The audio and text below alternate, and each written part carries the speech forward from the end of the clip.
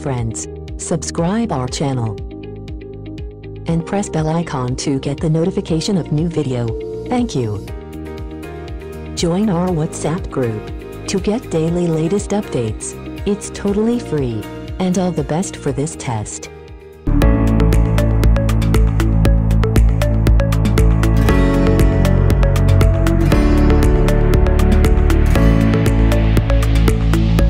The test is in four part, part 1, part 2, part 3, and part 4. Now look at part 1. You will hear a conversation between a police officer and a crime victim. First, you have some time to look at questions 1 to 3.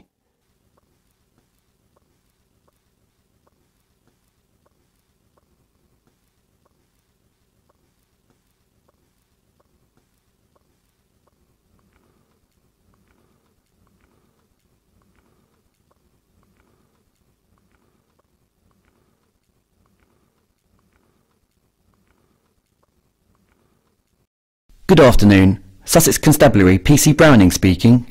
Good afternoon. I would like to report a theft. Right, madam. First I need to get your details before we can proceed. Fine, go ahead. Could you give me your first name and surname, please? Yes, it's Mary Tyndale. Could you spell your surname, please? Yes, it's T-I, that's I, not Y, N-D-A-L-E. Sorry, I didn't quite catch that. Was that an N or an M you said? I know, the line's not good. I said N, not M. Okay. And your home address and postcode? 4 Larch Avenue, Park Road, Swindon. Sorry, you said 4 Larch Avenue, as in L-A-R-C-H. Yes, and the postcode is FN1 SW19. Before listening to the rest of the conversation, you have some time to look at questions 4 to 10.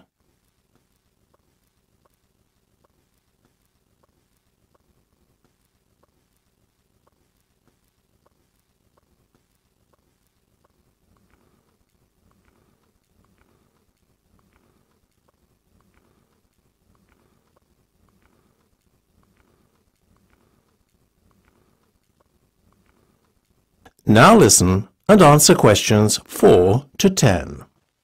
Okay, that's fine. Now you said you would like to report a theft. Yes, my handbag was stolen this morning. Can you describe your handbag? Well, it's quite an ordinary white leather bag with two black leather handles. Oh, and a black shoulder strap too. Any other features you could describe? It's quite plain. There isn't any picture or design on the front. There's also a zip fastener on the top. How about the contents? Did you have any valuables in it? Luckily, no. I left my iPad at home along with my mobile. I'm quite forgetful sometimes. I had a purse in it, though, with a small amount of money, as well as my driving licence. My keys and personal items and so on I always keep about me in my coat pocket. Okay, that's fine. All I need to have is your phone number or other contact number. My mobile number is 07900 381 988. Sorry, was that double eight at the end? Yes, that's right. Thank you. That's all I need for now. You need a crime number. OK, I'll just get a pen. Ready?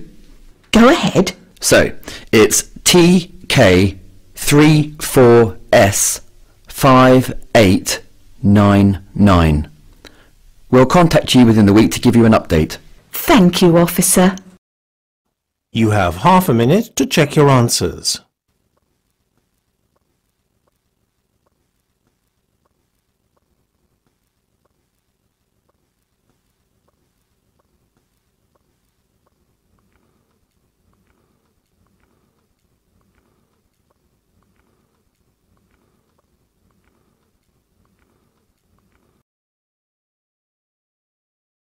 Now turns to part 2. You will hear a scientist giving a laboratory induction to a group of new employees. First, you will have time to look at questions 11 to 15.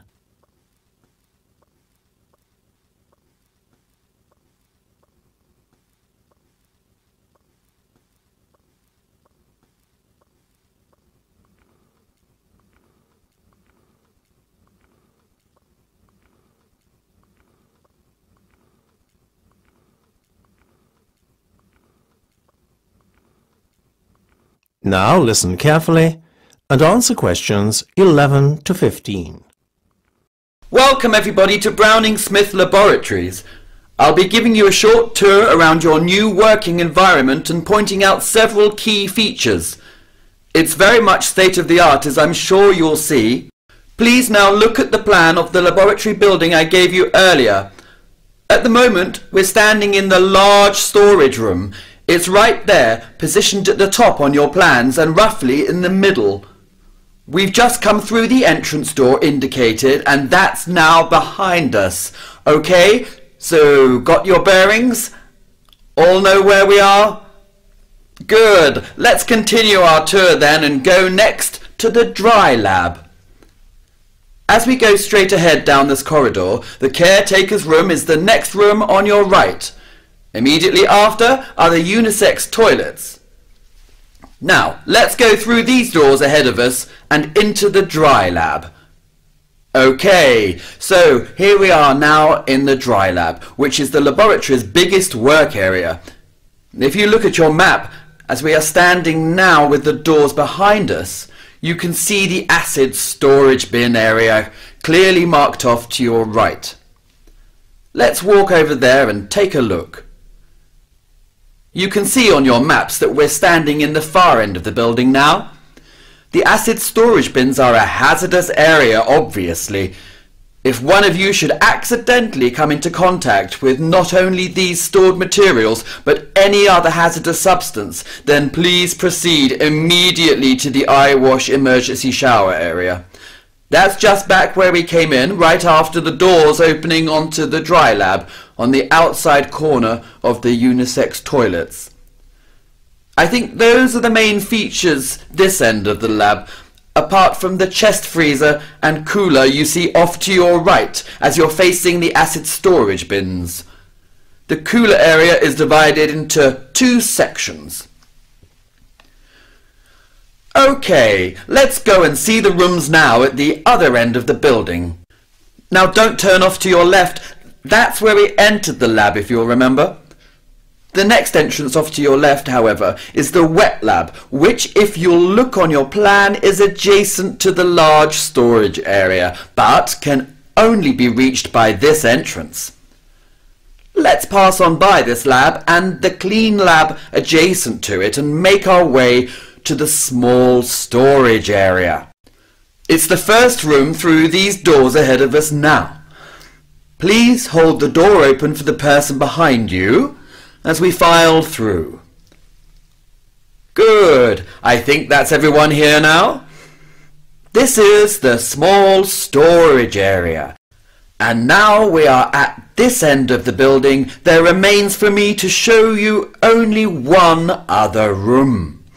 You can see two doors leading off this room. The one ahead is an exit which will take you outside the building. The other leads to the walk-in cooler. Oh, there is one more area I need to mention. That's the walk-in freezer. It can only be accessed by leaving the building entirely either through the exit I just pointed out or the first entrance we came in. I hope that's all clear now, but you will soon become more familiar with the general layout of the laboratory building. Before you hear the rest of the discussion, you have some time to look at questions 16 to 20.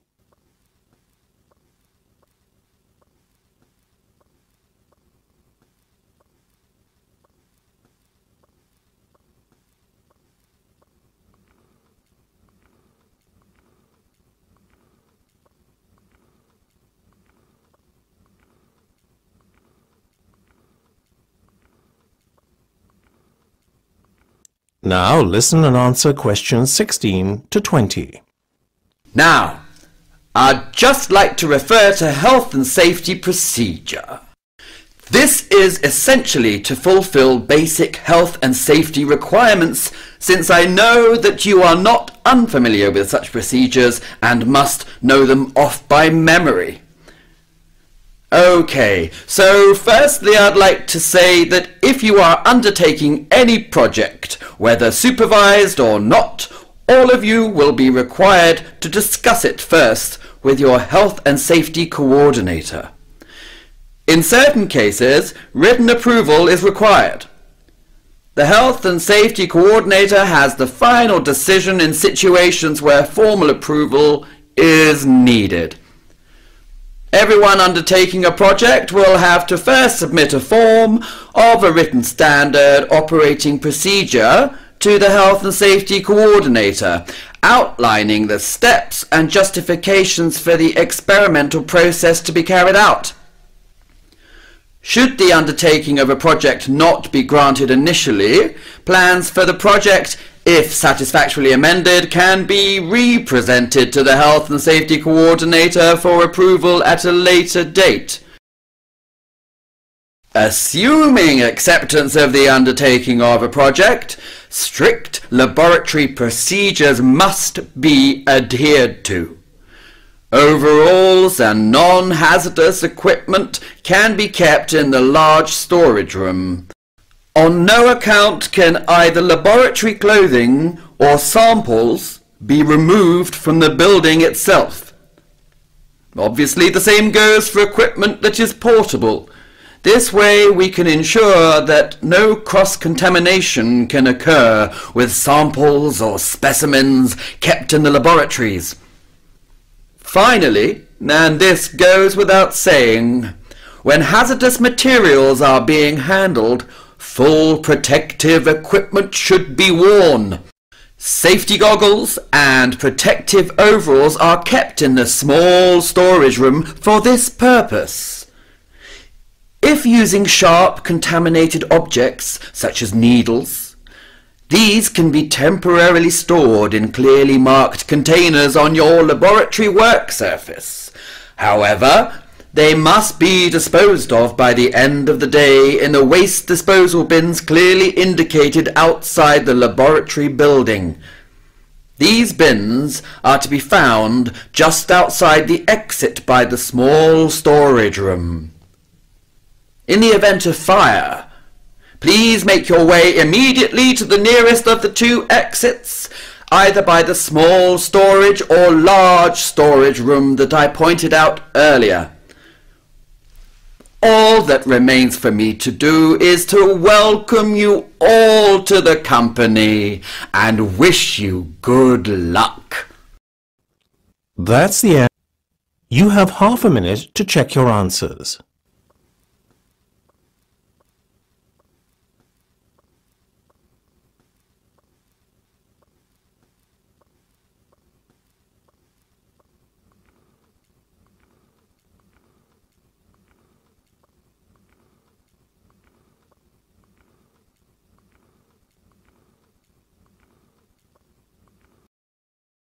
Now turns to part 3. You will hear a discussion between two students of criminology and their lecturer. First, you have some time to look at questions 21 to 25.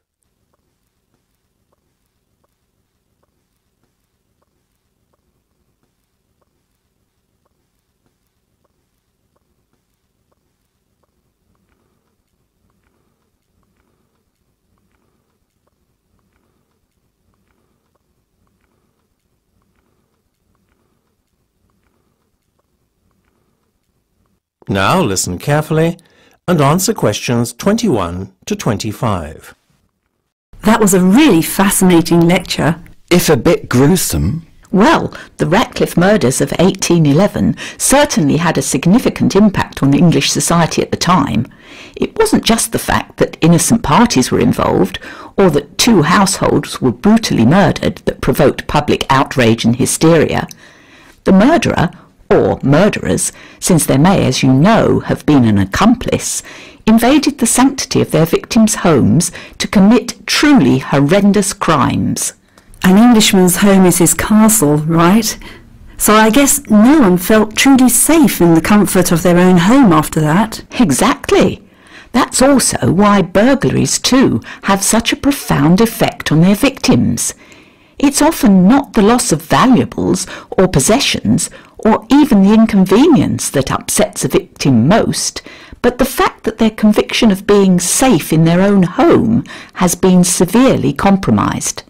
But public hysteria broke out too, didn't it? Because there was a feeling that public safety was under threat. It was felt that the localised police forces at the time were inadequate. Very true. The police force at the time had limited power. They could enforce the rulings of a local magistrate for the county, but they had one huge disadvantage. There was no communication between county police forces, was there? Yes, details of crimes committed within a county were not shared. Obviously, when a criminal crossed county borders, they could often successfully evade capture. Today, that seems so absurd. Nowadays, with information instantly accessible to all police forces nationally and worldwide on police computer systems, yes, it does. But don't forget that it was only with the formation of London's Metropolitan Police Force in 1829 by Sir Robert Peel that criminal records could begin to be consolidated on a national basis. Even then, some areas outside and even within the Metropolitan Police District remained beyond the jurisdiction of the Metropolitan Police Force. Were the Ratcliffe murders a bit of a wake-up call then to the crime-fighting forces of the time? More than that, they acted as a catalyst in the formation of the Metropolitan Police. The public too played no small part in bringing about the much-needed shake-up in the policing systems of the era. So the Metropolitan Force was founded over half a century before the infamous Jack the Ripper murders. Yes, however, in spite of the force's best efforts, the Ripper remained at large. Many suspects were put forward, though, ranging from children's author Lewis Carroll through to artist Walter Sickert. Despite the notable failure to deliver justice on this occasion, the Metropolitan Police Force could not be blamed for any inadequacies in police procedure. In fact, the creation of the Metropolitan Police Force was a turning point in English law keeping. Before you hear the rest of the discussion, you have some time to look at questions 26 to 30.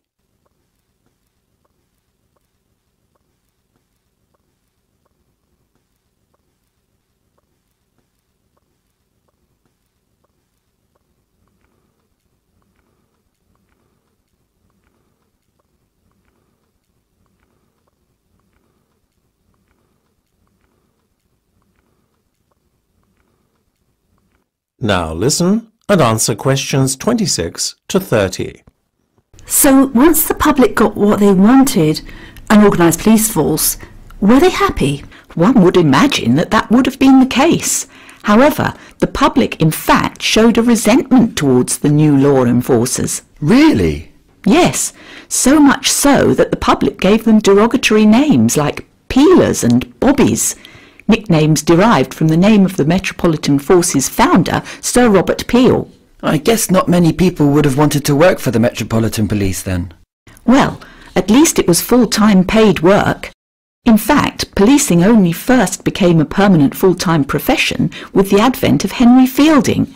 He formed a force armed with pistols, known as the Bow Street Runners, in 1749, answerable to and paid by a magistrate's office.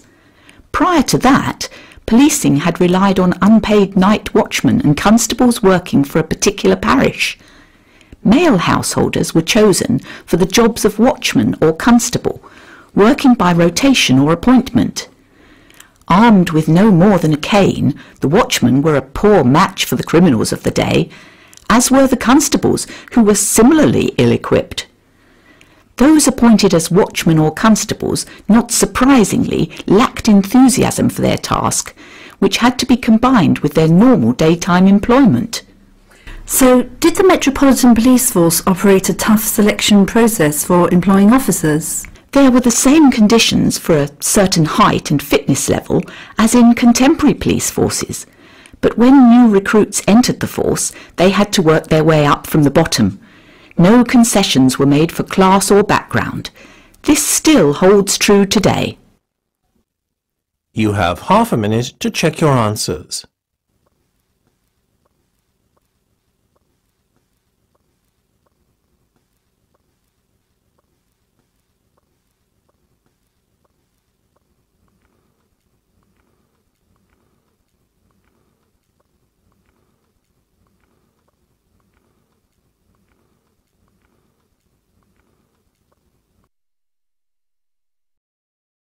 Now turns to part 4. You will hear a recording describing a trial courtroom and the conduct of legal trials.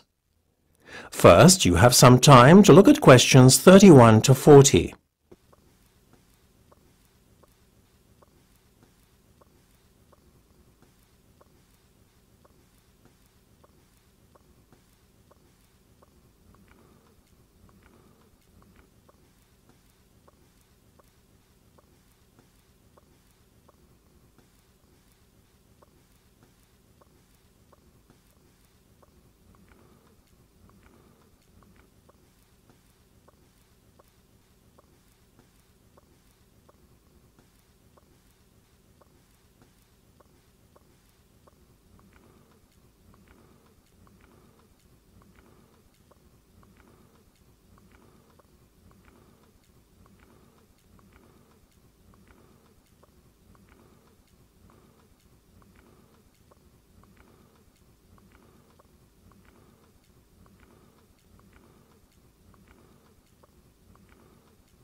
Now listen carefully and answer questions 31 to 40.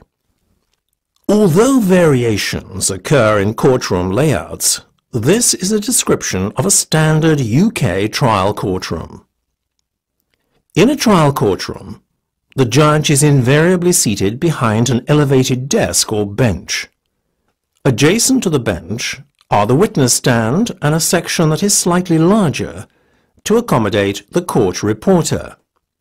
Behind the court reporter, the bailiff stands against the wall of the courtroom throughout the proceedings. His job is to ensure the court procedure is observed and order is maintained.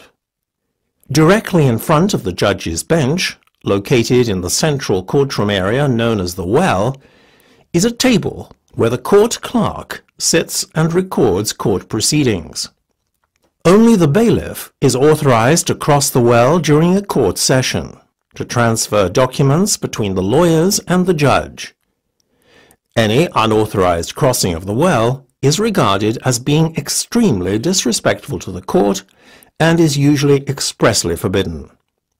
Off to one side of the clerk's desk is located a table where the defendant and his lawyer are seated. The defendant, also known as the accused, works closely with his lawyer, who is also termed the lawyer for the defense. Across the other side of the courtroom, the lawyer for the prosecution sits with the plaintiff, who is bringing the case against the defendant to court.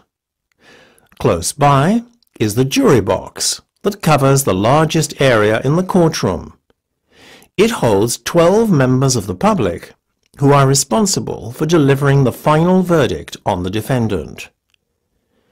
All those who are actively involved in court proceedings are in the area of the courtroom termed the bar. Behind the area of the bar is the gallery, which seats spectators who may be relatives of those involved in the court hearing or merely curious members of the public. The bar itself may be an actual physical barrier, such as a railing, or merely a designated area. Apart from the parties to the case and any witnesses, only the lawyers can literally pass the bar. Court personnel and jury members usually enter through separate doors behind the bench. And this is why the term the bar has come to refer to the legal profession as a whole. So that is the court setup.